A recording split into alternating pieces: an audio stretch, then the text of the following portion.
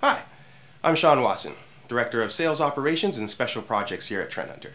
Today, we're going to be talking about hyperconvenience and how brands are acting on convenience to enable consumers to do more. Throughout this course, we're going to take a look at the changing face of convenience and what cues brands should action on to create products and solutions that align with the new wave of convenience. Consumers are busy. They're overwhelmed. They don't have time to work out, be curious, pick up a fourth habit, or trim their bonsai. We consume an ungodly amount of media, and we find more and more there is, isn't a dividing line between busy time and free time. It all seems to blend together. Even on vacation, sometimes it feels like vacation is actually getting in the way of things we want to achieve.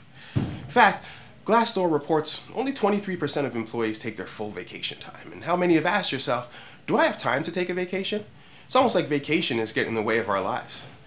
Further on to that, when we do go on vacation, 61% of us are working anyway, putting out fires or checking that urgent email. To add to that, we're in the midst of this technological tidal wave that only continues to crest. We hear a lot about dwindling attention spans. We've seen, you know, the average internet user's attention span go from 12 seconds to 8 seconds.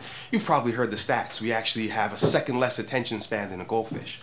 Some reports even suggest that this is going to accelerate and we'll see an 88% decrease in attention span each year.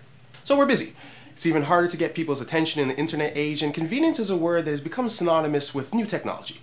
But the prevailing thought has always been how can we save people time or give them back more time?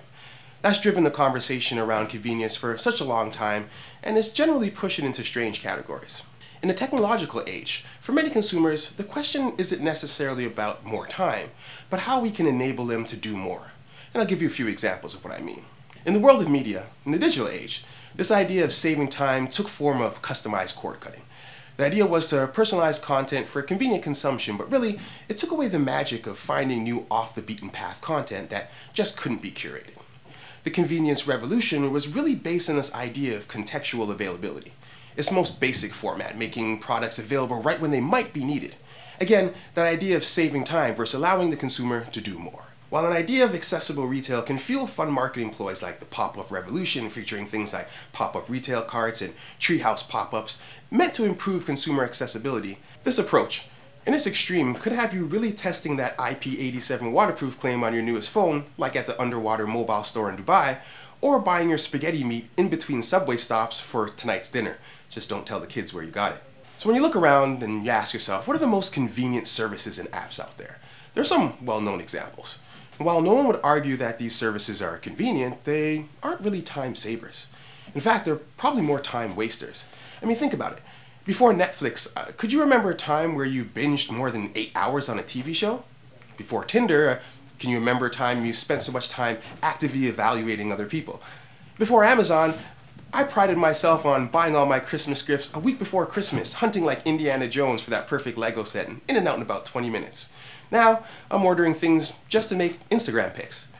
And, of course, Uber. If I had to take a taxi somewhere in real life, I probably just wouldn't go. What makes these services actually convenient is that they follow the six cues of convenience. Number one, accessibility convenience. How easy is it to access the product, to get your hands on it and become familiar? Secondly, transactional. Once it's accessed, how easy it is to purchase. Are there barriers that take effort to acquire? Next, Usability. And this speaks to whether or not the product is easy to use. Beyond a simple GUI, does it feel familiar? And enjoyment is about whether or not it's actually fun to interact with. Addiction convenience is an interesting one. Does a product make your customer want to use it over and over again to improve or monitor a score, for example? And finally, lifestyle convenience. Today's consumer sees everything as part of a personal brand, and how does your product or service fit into that? We're going to use Uber as a case study to see how they align with the six cues of convenience. The app, of course, is free, and as long as you have a phone and payment option, it's available. Payment is easy because once you put in your credit card info, you never have to look at it again. I constantly forget to switch over to my personal Uber from my business Uber. Usability is great it's because it's familiar. You're used to Google Maps and GPS, so the interface for Uber is something that you've come to recognize. And the experience itself is customizable. You can play your own music in the car, ask to be left alone, and it's gamified through scoring for both drivers and riders, which makes people want to get better and better scores and compare their scores to their peers.